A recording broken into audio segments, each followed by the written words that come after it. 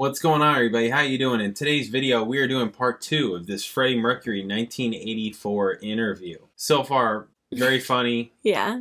Yeah, lots lots of cool stuff in here. So definitely looking forward to part two. If you're new here, please subscribe. Check out my videos, all kinds of videos, reaction videos, bass videos, music videos. Check it out. If you like the channel, you want to support the channel, you can hit super thanks underneath this video. You can hit me direct in the description. We got PayPal, Cash App, Venmo, Amazon wishlist, mailing address, and we do donation requests. So if there's something you want us to watch, listen to, talk about, hit us direct PayPal, Cash App, Venmo in the notes section. Leave a link, leave a description, let me know what you want the video to be on, we'll make the video. You can also email me at jpanreadsemail at gmail.com. Thank you guys. All right, let's get to this. Part two Freddie Mercury interview. Bam. Sure, sure. Um, you were also recording something uh, with uh, Michael Jackson that was not released yet. I think Um, you, the song is even called Victory. Is that true?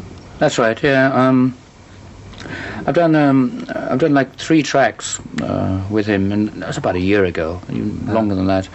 And um, yes, Victory was uh, one of the songs, but he, he wanted to use the the title for the Jackson thing, but the song is still still there, and it's probably just waiting until the two of us get together and finish it.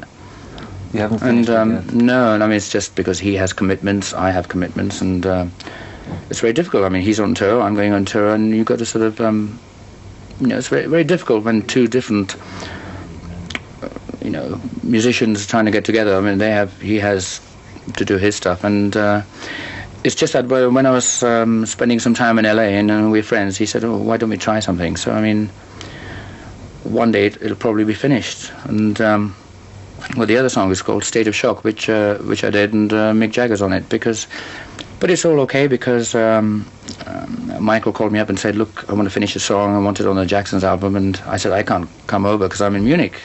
And he said, well, "Is it okay if, if Michael if if Mick does it?" So I said, "Fine, you know. Songs are songs. I mean, as long as our friendship carries on, we can uh, write all kinds of songs after that." With uh, what other people would could you think of uh, cooperating like you did with Bowie and, and Jackson on this unreleased stuff? What are people who are Well, it depends. I mean, I just, um, I don't, th- I don't sort of think of those things. I mean, sometimes you just meet friends, and um, if you if you think about uh, doing a song together, you talk about that. Otherwise, that's not what I think about all the time. I mean, uh, um, uh, Elton and I have been friends for a long time, but we never, we, we've actually sort of said to each other, one day we probably go in there together and, and, and write a song. But it's it's it's better being friends. You know what I mean? And uh, and the thing about it it's is, is spontaneity. So I mean, uh, it's just uh, if it happens that uh, we're talking and suddenly we say, "Oh, let's go in the studio and do it," it's, that's the best thing. And that's what happened with David Bowie. We were just he was just around. We were having dinner for a couple of days, and we we were recording in the studio, and he just said, "Oh, maybe I'll come in and just see what happens." So it wasn't planned. If it is planned, then it's boring because then it just. And we were just going in there and fooling around to see what happened. And suddenly this this song started taking shape, and we said, "Oh, that's quite nice. Let's work on it a bit." And um the result of that was under pressure. Huge. So Huge. I'm not really. Um, I don't get up every morning and say, "Okay, which who am I going to work with uh, today?" That those kind of things don't work. How would you describe your, yourself as an artist? Would you say that you're a, a very organized person, very spontaneous person, or how would you say? No, myself as an artist, I'm just a musical prostitute, my dear. It's basically that. Organized or not? Oh, who cares? Disorganized and organized. That's an asshole question to ask anybody. It's just, um, I don't know. I'm just me. You know, I'm just me. I'm very disorganized at times. I'm organized at times, and uh, I'm just me. What emotions do you have when you see old stuff, for example, like you mentioned before, with long hair and black fingernails? Or when I see myself, you see oh dear, I want to tear them all up. I just think um, I actually laugh at myself, but I know that it was something that you have to do. I think someone like Boy George, in, in about five or ten years' time, is going to look and say, "Oh my God, did I really look like that?" But he, he knows that it was it was relevant at the time, and it was right, and uh, and I think I don't regret any of the things I did. It's just that I laugh. I mean, what did you look like ten years ago? Horrible, yeah. Do you look at your pictures and Yes. oh, there you are then. so I mean, I just think uh, I just think, uh, and it's it's a process of growing growing up, you know, it's experience, and uh, I just think uh, at this point in time, I think if I had long hair and, and fingernails and wearing the things, I would look ridiculous. I mean, I looked ridiculous then, but it worked. but it was all right then. So um, it's just, it's just, it's just growing up and, and, and gaining experience.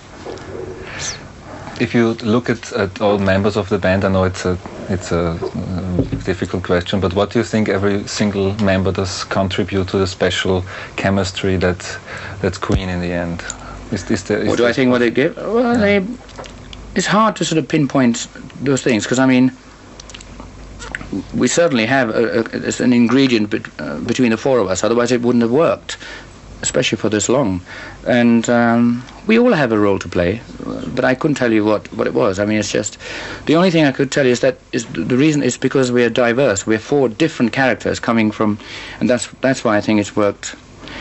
Not two of us are, are the same. I mean, uh, so that you know, we all like totally different things, but we come together. It's, it, it's a chemistry that that works. And I couldn't tell you what it was because I mean, who can? It's just something that that seems to fit. And that's what good bands are made of, you know. And we're good. Okay, thank you very much. He's like, that's a wrap. Yeah, right? cool. Yeah, that was cool. Did you have those glasses growing up? Those glasses? The mug he was drinking? I don't think so. My grandparents did. Oh, yeah, I don't yeah. think so. He's very likable. Yeah, yeah, yeah. Yeah.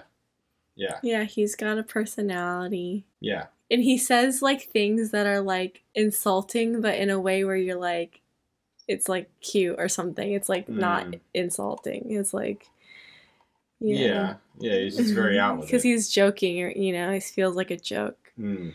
yeah. Yeah. That's cool. Yeah lots of lots of funny moments. Lots of cool stuff. Yeah i like this. I like this. This is this is great. Yeah. all right more interviews. Wow. Super cool. All right. Thank you guys for watching. We'll catch you in the next interview Bye.